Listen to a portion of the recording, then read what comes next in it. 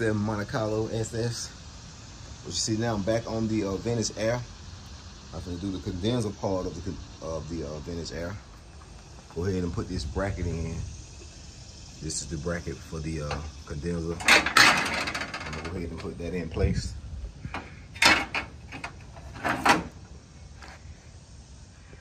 This is my transmission cooler that came off my Impala SS.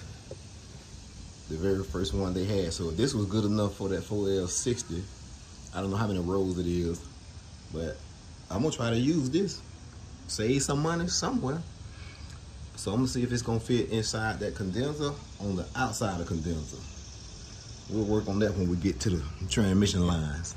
But right now, I'm gonna stick this condenser in place and uh, go from there.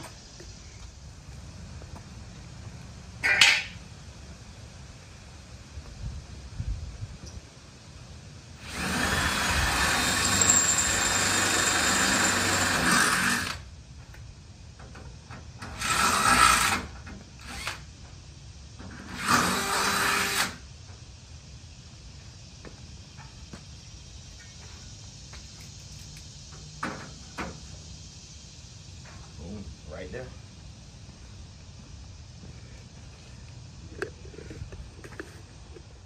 Okay, a few minutes later, I got the condenser and the dryer in.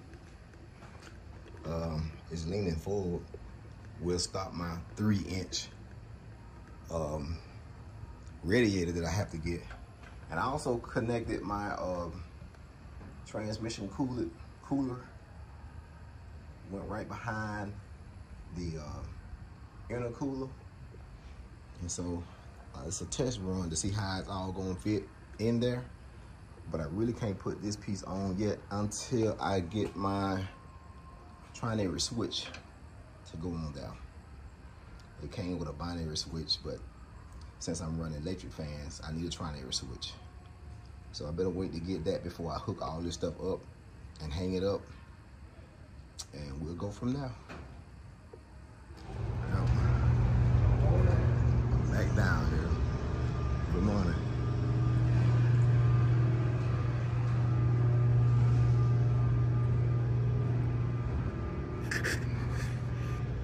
Okay, after coming back from uh from Summit with the wrong part, of course. So that means I had to take it back. But anyway, I'm out here trying to do some wiring. Not trying, but actually doing some wiring. And as much as I like keeping my engine bay clean, now I'm beginning to see why a lot of guys' engine bay are not clean. But I'm gonna keep mine as clean as possible. And so, uh, yeah, I just want to get that through. Well, we go. Let me continue to wire. Okay, just came back from Summit. I took the old fans off the uh, Amazon radiator. It's nice little three row. This thing is quite thin compared to that. Even though it's the three row, but wow, that thing there is thick. But I'm having a hard time trying to put these, put the shroud on that with it. I'm gonna end up putting the fans on it because I don't want to take a chance. Since I'm an amateur welder, and I don't take a chance welding that because you can't really put no screw down in it because you're going right into the vents. So I gotta figure something out if I want to use the shroud. If not, I'll just be using the fans. But like I said, it's a new radiator right here. It's good to go. And if you want some fans with it, I got some fans to go with it. Trying to use that shroud. Not sure if I'm gonna be able to do it. Cause I don't want to screw nothing in there. And I definitely can't weld it. I'm too much of an amateur welder to try to weld that. But I'll figure it out. In order for the new radiator, which is like three inches wide, in order for it to work, this beautiful new core support that I just put in, I gotta cut that. I gotta cut that lip off right there. Stick it right into the fins of the radiator. So it'll be the same size rest of this, but yeah, I gotta cut that off. So hopefully I don't mess it up, and if I do, I have to beautify it again.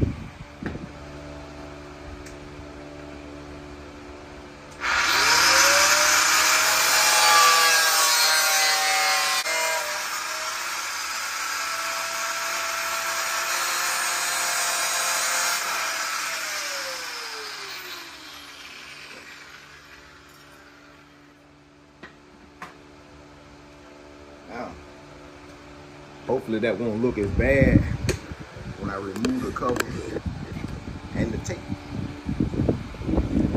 Let's just get my file, file it down.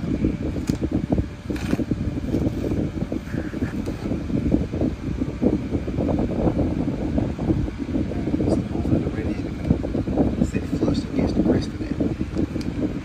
I had to give it a check. Well, the day done came to an end. I guess I'll resume tomorrow. Well, as you see, I'm plumbing the supercharger. Running my hoses. No good place for me to put my um, tank, but I'll leave it right there. I don't even have a good place to put my pump. I guess what I'm gonna try to do is hang it right here.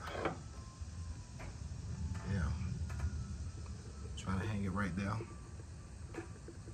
See if I can wheel that down. I'll try that tomorrow. Maybe I'll come up with another idea before I come back out here tomorrow. The brother's tired. We call it quits. Getting it ready for the nose to go back on. Okay, new day. I'm back out here. Well, I just finished piping in my supercharger and I got my lithium battery right there. Finna put some power right there on the pump. And I got my water hose going into the tank. I'm gonna fill it up with water, see if any, there's any leaks. Once I fill up water, I'm gonna let the, I'm gonna let the pump circulate and see if I can find any leaks over here between those two lines and right at the pump itself and back right there at the um, intercooler. I definitely want to see if there's any leak in the intercooler. The water gonna leak down before I start putting the good stuff in it. So let me fill the tank up. Hold on, as you guys can sit there with me. I gotta open up this uh, nozzle here.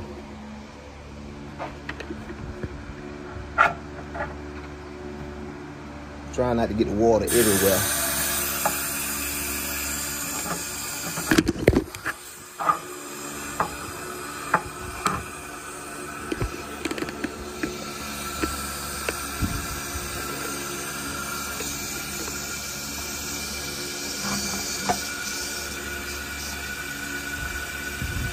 Fill the tank up first.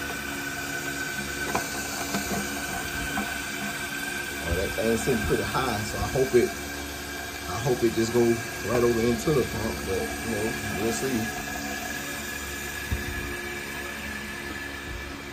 I got the pump a little lower, just no more than about a half an inch lower, but it's still enough where the uh, antifreeze or whatever I use should go right over into the pump.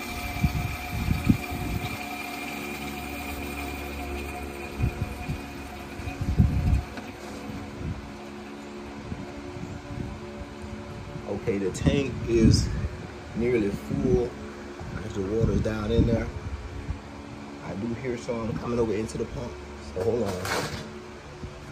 I saw some bubbles, so that means some was flowing down to the pump. So now what I'm gonna do is connect this negative wire to the pump on the lithium and we'll see if any water pumping. The pump is running.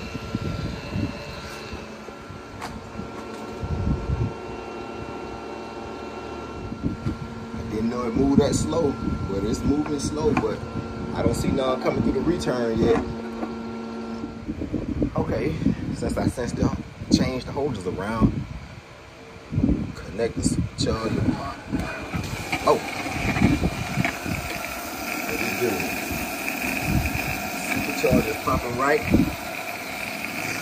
There are no leaks out here. Are no leaks right there. I wish I could find some kind of way to put this down, but I think it'll hold. I'm gonna try to scrap it some kind of way because I don't want to put no welding on this aluminum. I don't do aluminum. Like, see this good weld right here? I gonna bust a hole in the tank. But anyway, yeah, got no leaks right there. That's what I'm saying. Okay, let me button this one up. I can see it's beginning to actually resemble the 87 Monte Carlo that I pictured. Of course, I'm still sticking the nose on. I gotta go up to the hardware store to get some new screws. The screws done rusted. Some of them a lot of rust on them. I'm just gonna replace a lot of them that I can find uh, with new ones. Uh, just to bring you guys up to date on where I'm at. Um, of course, you saw that I uh, plumbed in the supercharger. Make sure none of those things was leaking. I even found me a uh, core support radiator. The uh, radiator support right there. Chrome. Got it from eBay. I mean, uh, Amazon. So that was pretty cool. Um, pretty much done covered a lot of the wires. I only have three wires left on these three relays right there. Um, you see that little bump box right there. I, I put in there. Didn't know how it was gonna look, but it's okay. So yeah, that's where I'm at now. I'm going, going to uh, finish putting the body together, and then I'll jump back on the wire. Of course, I need somebody to help me with this stuff. But boy, that stuff is touching right there. But it's not really, a lot, like I said, I'm not really lining it up now. I'm just putting it back on. Hopefully the uh, body shop can line it up real pretty. But yeah, it's beginning to look like a car again, so I like it. I'm gonna dive right back in. And uh, well, I want to see inside that grill. That fan is in a perfect spot. The wind is blowing directly in it. I don't know about this thing. Need to straighten that out. But yeah, we'll see what's gonna be happening on the next video. Let's move out.